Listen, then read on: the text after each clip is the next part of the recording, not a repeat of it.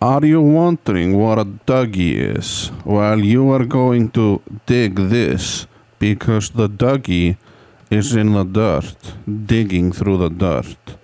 Watch out, if you step on the dirt, he might come out and look at you.